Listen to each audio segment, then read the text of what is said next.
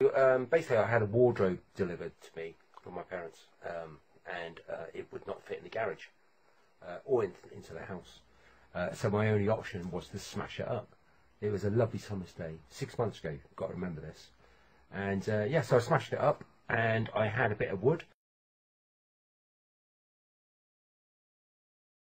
I had a marker pen, and for some reason, uh, the words dismembered sound booth came to my head. Don't know why, and I wrote them on this bit of wood, about this big.